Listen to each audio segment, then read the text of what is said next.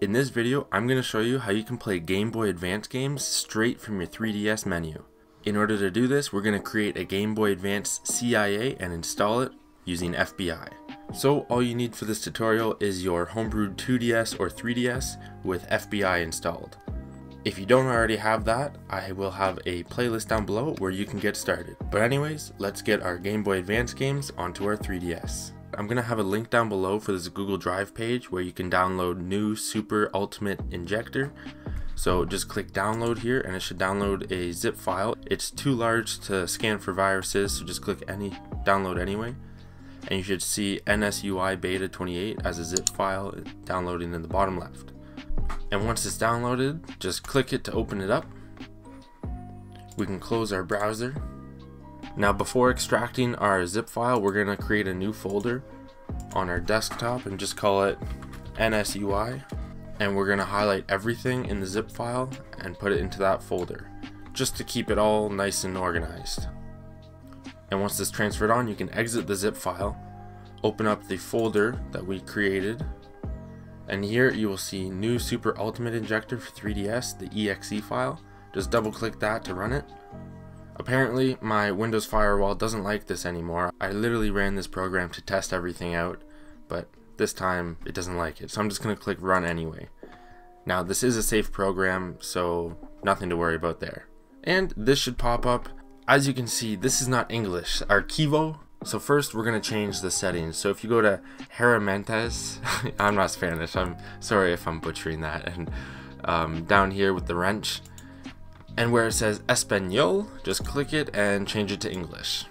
That'll just save us some trouble in the in the future. We don't want to wonder what we're selecting. Press the bold garter right there and there we go. So just click yes when you see this and it should restart the program in English. And there we go. Now we got our English program running.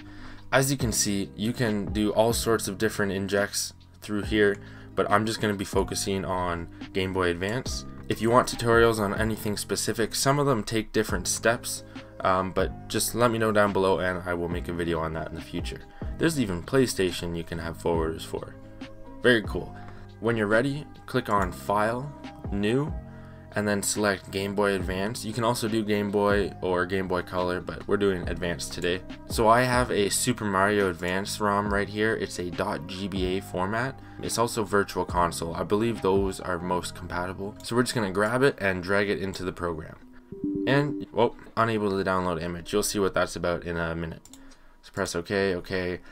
And if you want to know how to get the ROMs, you can join my Discord and ask there, but I cannot show you in this video. And once your ROM is placed inside, we are ready to customize it how we want.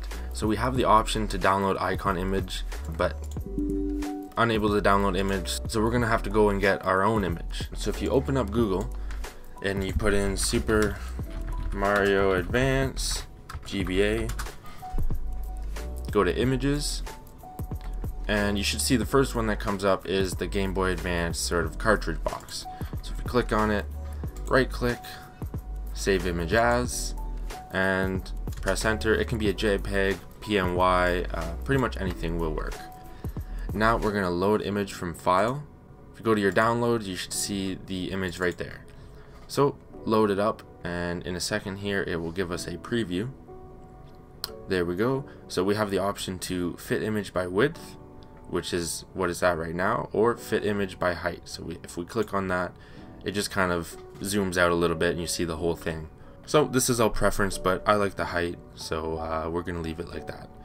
Injection method, we're going to leave it at GBA Virtual Console. This means we don't need any extra programs to run it. We just install the CIA and we can play. If we open this file, we can see RetroArch forwarders here.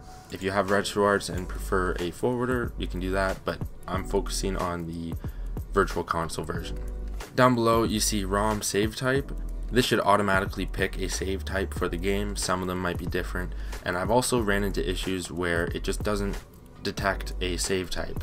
If you run into that, I believe if you press show all save types, you can choose SRAM. That should work the best. But if it automatically detects it, just leave it as it is. And now we can move on to the banner as we don't want to change anything under the CIA header.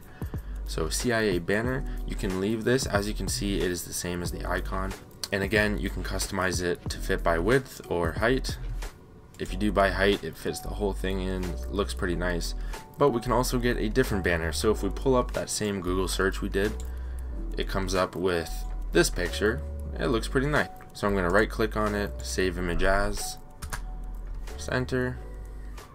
Close this back into the program and then you can load image from file go into your downloads and double click on the image you want. Again, not every game might have this, but Super Mario Advance does, so uh, let's use it. I'm going to change it to fit image by width, and we get the whole banner there, so it looks pretty clean. Now that's basically it for the setup. If you want to customize it farther, that's up to you, but that is all I'm doing for it.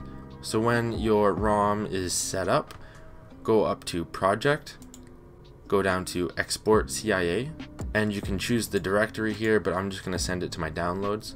So when you pick that, just click Save. That was not my real doorbell, that is the sound of your CIA exported. So click OK, and we are ready to go. My, my dog just hopped off my bed to uh, go see the door. Oh my. but anyways, we are done with the program, so you can exit. You can save it again if you want and quit it. We can close the folder where the NSUI exe file is. Where's Naruto? And once you've exported your CIA, we can insert our SD card or micro SD card, which depends which model you have for 3DS. And we can go into our CIAS folder. Now, if you don't have one, just create it, but we'll open it up. We will open up our downloads, and you should see the CIA file right here. So just drag it into your CIAS folder. And that is all you have to do on the PC, so we are ready to head over onto our 3DS and get it installed. I will meet you over there. Alright, we're over on our 3DS, and if you couldn't tell, you know, I really like Naruto. if you want to learn how to get a custom theme, link down below for my 3DS modding playlist where you can find a video on how. But anyways, we're going to head over to FBI and load it up. Once you get here, click A on SD, go all the way down to CIAS, click A, and you should see the CIA file we added. So go down to it and click A, and it's going to give you the options to install it, install and delete, delete, and so on. We're going to do install and delete because we don't need to keep it on our SD card after we install it. It's no longer needed, so it just clears up some space. So click A on install and delete, click A again, and it should install the CIA. Install finished, press A again, you can press the home button, and new software has been added to the home menu. I wonder what it is. Super Mario Advance, Nintendo! Alright, so let's click it and open it up. That is what the banner looks like. It looks really cool. Even has the whole animation is in everything. So and also the icon here. Let me just it's kind of small, but I mean, they're all small. I guess I could do this too. Yeah, Super Mario Advance. It looks really cool. But anyways, let's open it up and see if it works. Gotta close the suspended software. And let's open it up. It'll give us a warning. Hey, you can see my face. I don't have to worry about that because I have a face reveal out now.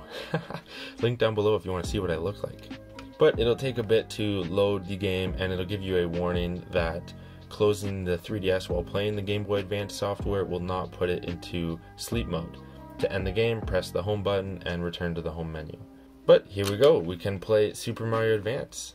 I played a lot of this game on my Game Boy Advance. Me and my brother love this. But anyways, you get the point. We now have a Game Boy Advance game on our 3DS menu. It was that easy.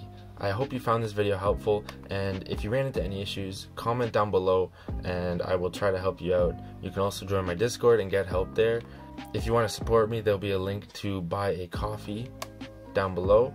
Ah, I fell off. But of course, that is not expected, and all that I ask from you is that you like the video. It really helps the channel out. So anyways, that is it for the tutorial. Thank you for watching, and I will see you in the next video. Bye!